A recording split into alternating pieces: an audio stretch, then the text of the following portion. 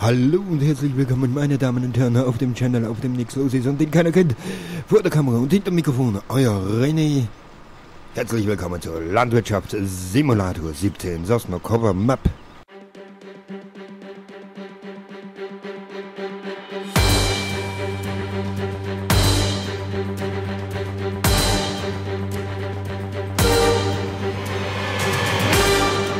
Und wir sind hier komplett mitten im Studio. Jawohl, so eine schnelle Begrüßung hatte ich noch nie vor äh, oder noch nie gemacht. Wir sind hier mitten im Striegeln. Ihr seht genau da weiter, wo die letzte aufgehört hat. Und wir sind schon fast fertig hier mit dieser Feldbearbeitung. Dann kann das, äh, ja, dann kann das hier nur noch sprießen. Ne? Kann es vor sich hin wachsen und wir brauchen nichts mehr tun. Hm, ist das schön. Oh ja. Oh Baby, gib's mir. Aus den Powers, ne? Ich hoffe, ich kriege keine Schwierigkeiten, wenn ich aus den Powers noch mache, ne?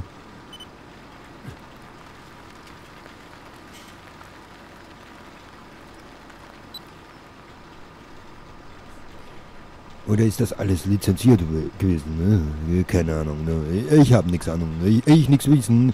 Ich nur ein doofer Idiot. Genauso wie ich beim letzten Mal schon gedacht hatte, äh, wir konnten dieses Feld schon grob angehen, aber äh, ja, jetzt stehen wir dort mit dem C-Tor, mit dem Gruber und wir können noch nichts grubbern. Nichts da zum Grubbern. Keine Ölrettich fertig. So, aber äh, wir sind hier jetzt fertig mit den Strüdeln. Den können wir einklappen und verstauen gehen.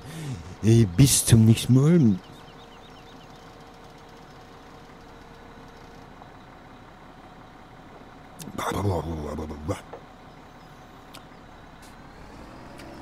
So. Das Ganze gehen wir jetzt einmal verstauen.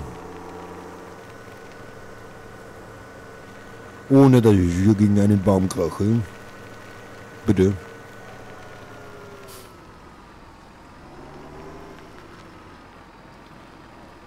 Nein, ihr wollt bestimmt sehen, wie ich da rückwärts reinfahre.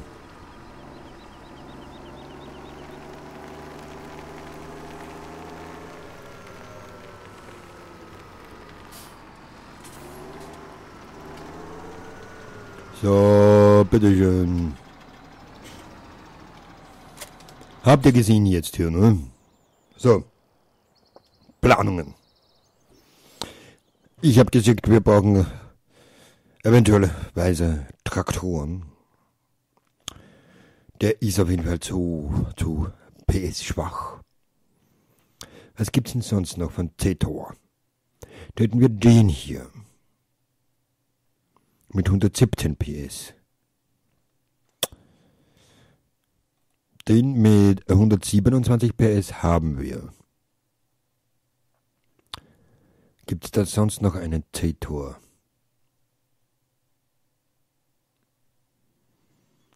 Case IH oder wie das heißt, ne, äh, ist übrigens eine amerikanische Marke. JCB ist eine englische Marke, habe ich äh, nachgeforscht. Lamborghini ist natürlich italienisch, Steyr, Steyr ist Österreichisch, New Holland ist äh, Baum, warte mal, war das Niederländisch oder, äh, oder, oder auch Englisch? Deutsch ist auf jeden Fall eine deutsche Marke. Massey Ferguson ist eine amerikanische. Oh, ist ja nicht schlecht zu wissen, aber C-Tor gibt es da keinen anderen, keinen größeren. Da bleibt es mir nichts anderes über, als dass ich entweder sage, ich gehe auf den New Holland. Also von dem Tato da ausgehend. Der hat 127 PS, entweder auf einen Deutz, eine amerikanische Marke Case IH, einen Fendt würde ich nicht nehmen, 110 PS, Äh, 143 Waltra habe ich ja den einen, das ist auch der stärkste äh, Waltra. Same Same oder so, ne? 166.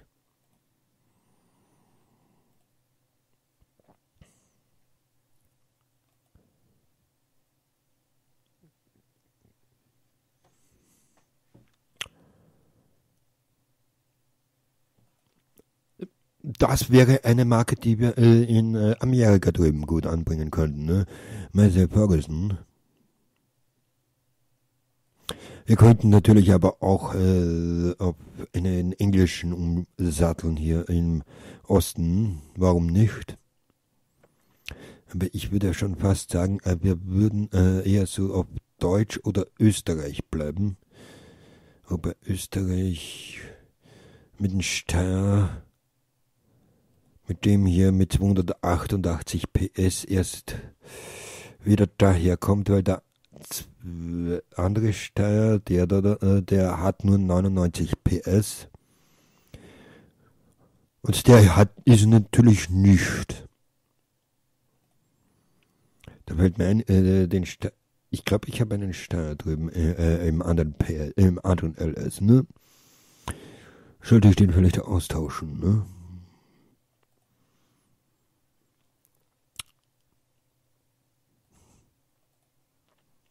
Naja, wir können ja schauen, ne?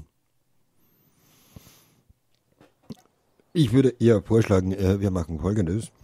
Wir gehen jetzt hier mal zu dem C-Tor, lassen hier mal kurz die Zeit vorspulen, dass wir hier mal dann gleich einmal anfangen können zum äh, Grubbern, damit ihr hier auch noch was anderes seht, außer meine äh, blöden Gedanken hier, ne?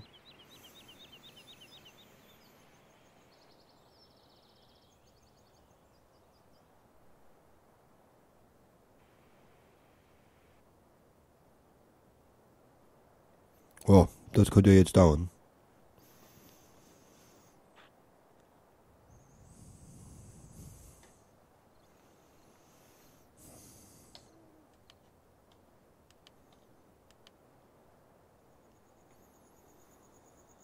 Hm.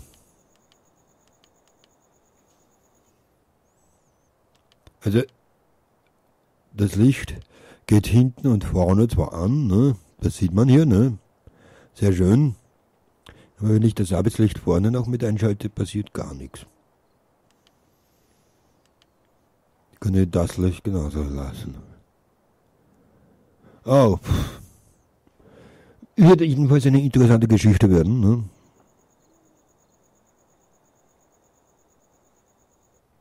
Noch interessanter ist, äh, dass hier die Bremslichter irgendwie, oder die Rücklichter irgendwie äh, andere Seite herum sind, ne? Hä? Oder ist das vom eingeklappten Zustand oder ausgeklappten Zustand her, ne? Das könnte gut möglich sein. Die Räder kommen ja nach unten hin, ne? Ja, genau. Die Räder sind unten. Ah, und das. Okay. Kreditzinsen, aber Betriebskosten, Fahrzeuge, Tierhaltungskosten. Äh, super. Schöne Abrechnung bekommen, Dankeschön. Und? Ah.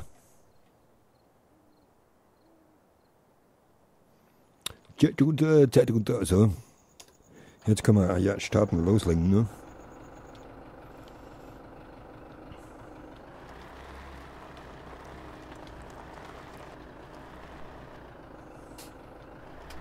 Und das Ganze hier mit einem Helfer. Bitteschön. Und bitte aus. Der vergisst mir hier wieder die Hälfte.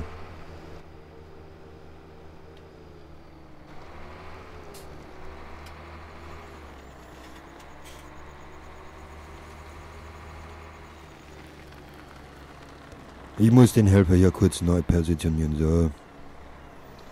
So, bitte schön, jetzt aber. Und jetzt bitte schön, schön sauber machen.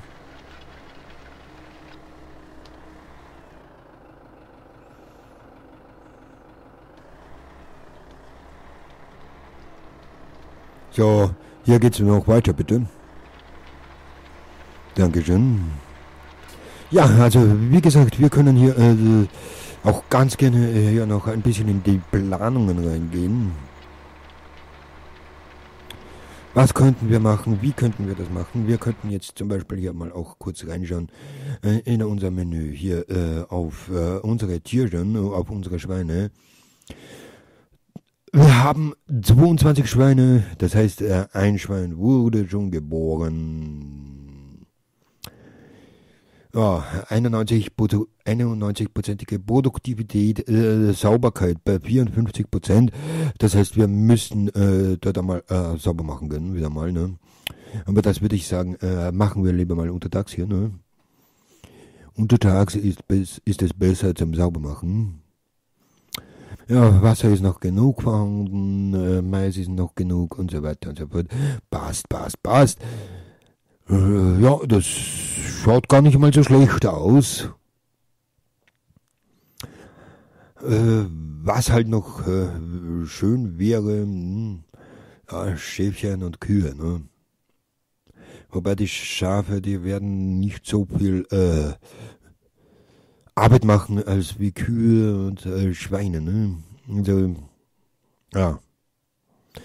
Ich würde sagen, äh, ja, die Schafe könnten wir als nächstes hier in Angriff nehmen, äh, dass wir hier äh, einen Schwein, äh, einen Schafsbestand auch noch haben. Ne? Braucht er nur Heu oder Gras und Wasser. Und sauber müssen es sein, ne? Ja, ansonsten finanziell mäßig, wenn ich mir hier das Ganze so vorschaue, äh, also anschaue, ne, ja, hm, ja gut. Spielvorbereitung war das hier, ne? Äh, Fahrzeugübersicht, die Preise, ja, mehr oder weniger, ne? Und dann hier natürlich die Kartenübersicht. Wobei, was habe ich denn da jetzt angebaut? Da habe ich Sojabohnen und da habe ich den Raps. Und hier kommt dann äh, der Mais, der Körnermais. Das ist dieses hier. Ne? Und äh, fahrzeugmäßig habe ich hier alles Notwendige. Mhm. Die hier hat eine Arbeitsbreite von 6 Metern, genauso wie die hier. Das ist sehr schön. Nur der Gruber hat natürlich keine der Gruber ist natürlich ein bisschen klein. Das ist der, oder? Nee. Ist das der Gruber? Ja, Gruber. Ja, okay, nee, hat er eigentlich auch sechs Meter. Hm. Okay. Also ich habe nicht mal ein Bienenhaus. Wieso habe ich noch kein Bienenhaus? Hallo, Heulager? Äh, äh, wozu brauche ich ein Heulager? Lagermöglichkeiten für Heu und Stroh? Heulager? Da kann ich Heu und Stroh lagern? Wozu habe ich das dann ja, irgendwo abgeschüttet? Hier ist die Spienchenhäuschen, naja, kosten 20.000, ne? Eigentlich ein teures Bienenhaus, ne?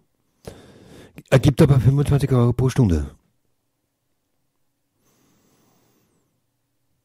Bei 20.000 Kosten. Puh. Ja.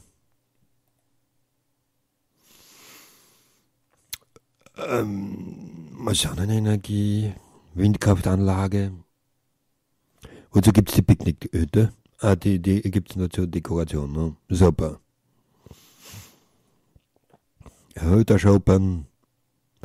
Äh, Bier Hütsch. Ja, da gibt es ja eine Menge. Ne?